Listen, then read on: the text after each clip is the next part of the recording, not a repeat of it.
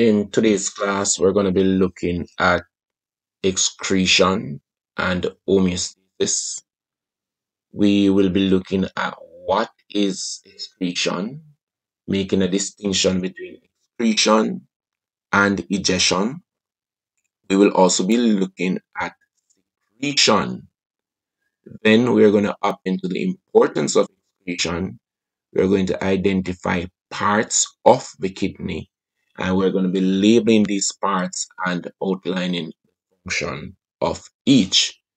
We will then move into a diagram of the skin where we're going to be labeling that skin and of course we're going to be asking the learner to outline the function of each labeled part. So grab your pen, grab your pencil, grab all your questions. Remember you can leave a comment below this video and I'll be too happy to respond. So let's hop right into the. Now, what is excretion? We are seeing a picture here of an individual running. And this running individual will pretty much give us some examples of excretory material. But before we look at that, let us look at what is excretion. Important to notice that excretion is the removal of metabolic waste from the body.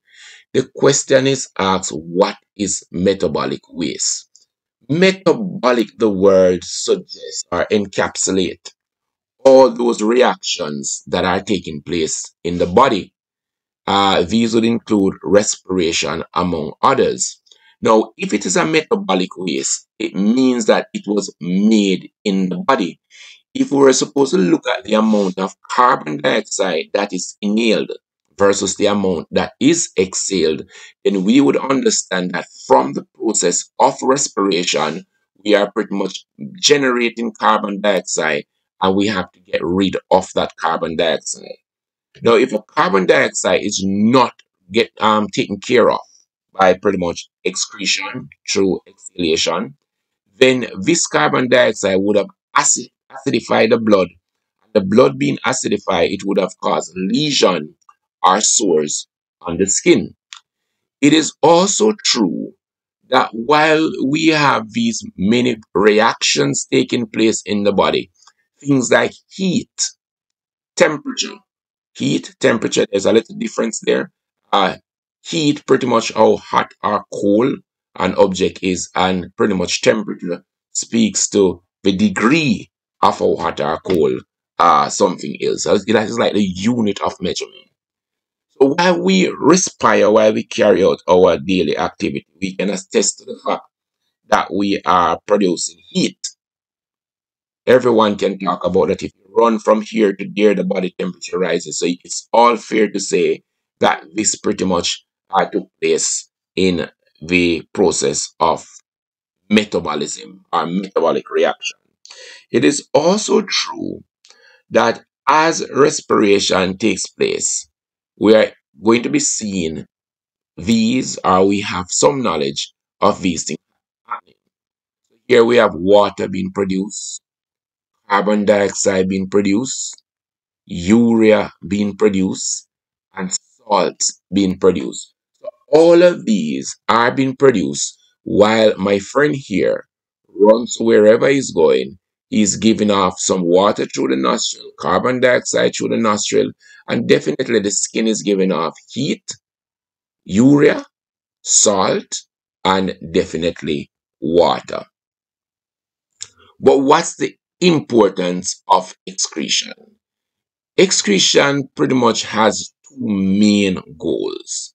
The first is to prevent the buildup of metabolic waste in the body, which are pretty much toxic and they could cause damage to cells or eventually kill the organism.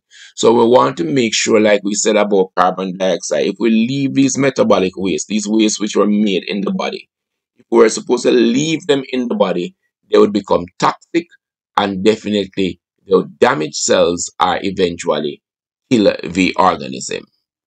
Another important role of excretion is to ensure that a constant internal environment is maintained. What does that mean? It means that the body pretty much operates around a confined space. So your body temperature is just not about anything or the amount of water in your body, anything or the amount of sugar in your body. Any no, it's not like that. The blood continues to flow over what is called the hypothalamus, and as the blood flows over this, the it is detecting. It's like the body's thermostat. What is happening?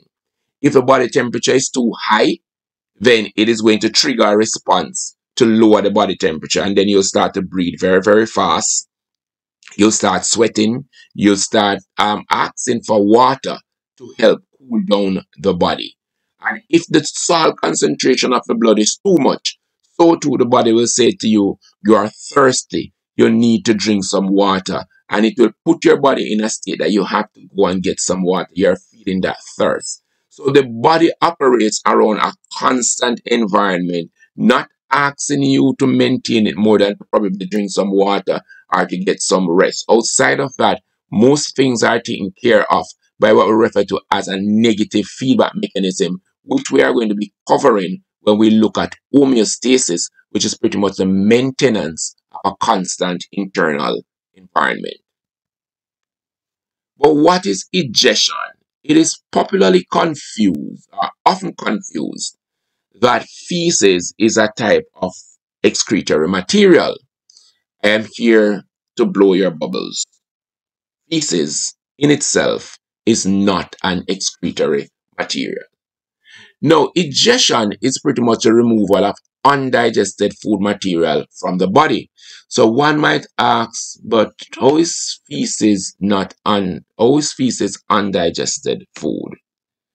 Now, one of the things that we need to understand about the whole digestion process is that we ingest, uh, as human, we have what we refer to as holozoic nutrition. So it's a five-step process, which includes ingestion, we take food inside the mouth, then we digest the food by breaking down the food mechanically, and at which point it is changed into a ball we refer to as bolus.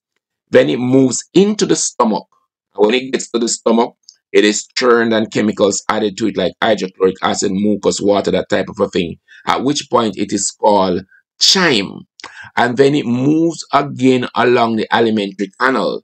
And as it moves through the alimentary canal and gets to the small intestine, from this digested food, what is going to happen is that we're going to be having absorption taking place now.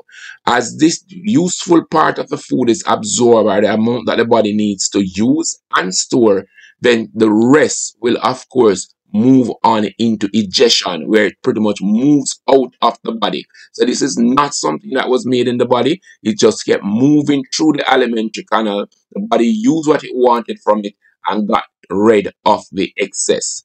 The truth is, assimilation is taking place between absorption or assimilation is taking place at all time, even when you're eating the food. That is a part of assimilation. Assimilation is also use that energy, that nutrient from the food. So excretion is way, way different than egestion. So we remember the five step in the Holozoic process, ingestion, digestion, absorption, assimilation, and then egestion, which is pretty much a removal of a feces from the body. That pretty much entails a five step process. It's important to note again that feces is not an excretory matter as it was not made during metabolism, during any other body chemical um, reactions. Metabolism is pretty much a net chemical reaction. It speaks to all the chemical reaction that takes place in the body to pretty much sustain life. So here we have a toilet, and the toilet symbolizes that uh, the feces is pretty much talking to you now and it is saying, I am not an excretory material, so stop making that mistake on your exam. You keep writing on your multiple choice paper that feces is an example of excretory material. So a big reminder here is this toilet who is talking to you and is pretty much saying, I am not an excretory material. Excretion should never ever be confused with egestion as the process of metabolism makes the difference. Here it is saying you cannot define excretion without using the word metabolism. Now, observe we are not saying waste here because the undigested food is pretty much waste. Once there is production, you're going to have some amount of waste. So we don't want to go writing about a definition for excretion and we are not using the word metabolism. Excretion is a process by which metabolic waste is pretty much removed from the body, while egestion is a process in which undigested food is pretty much removed from the body. This is all we have for now. In our next video, we are going to be looking at negative feedback mechanism